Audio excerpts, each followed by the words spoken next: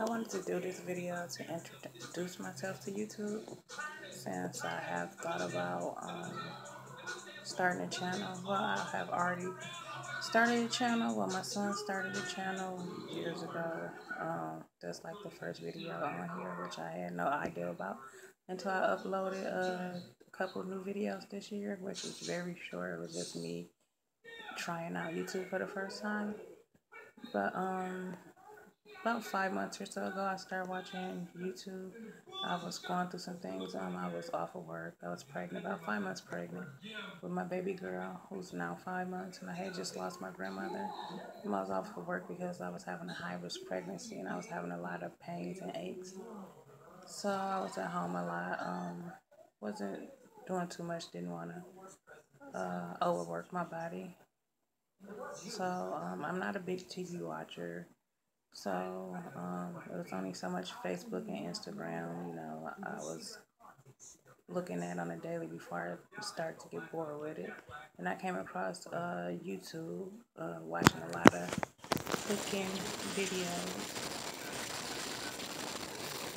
And a lot of things started popping up and shit, um, and my suggestions to watch, um, like the Life, Single Moms, The Home that nature. And a lot of people that I began to watch are now people that I'm subscribed to um, were pregnant um, moms or first time moms. And it was funny cause, because we was all like uh, right up, right around the same time, same trimesters, and I'm still subscribed and still watching. so yeah, that kind of helped me get through some of those months.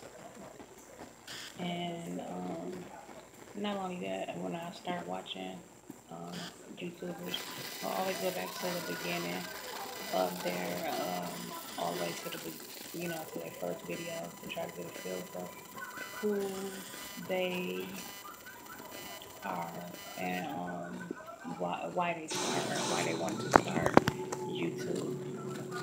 Um, a lot of people don't have page. They just kind of start a video, start videos, start a video and go from there. So that's that's why I felt the need to do an introduction. Um, and also I wanted to, like a lot of YouTubers I watch, they've been doing this for years. A lot of them um, had goals in mind and uh, if you go back and watch that video, you can see their growth over the years. Also, I would like to see my growth because I do have goals in mind and um, things I would like to accomplish that I haven't accomplished. Um, I'm a mother of four.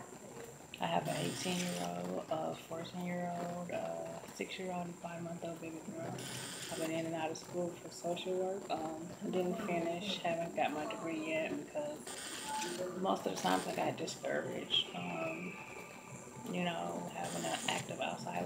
kids and working. Uh, I was always putting school on the back burner and my grades and stuff. so I would stop, go back, stop, and go back. And I just got kind of got tired of doing that. So I decided I'm not going to do that anymore. When I go back, I'm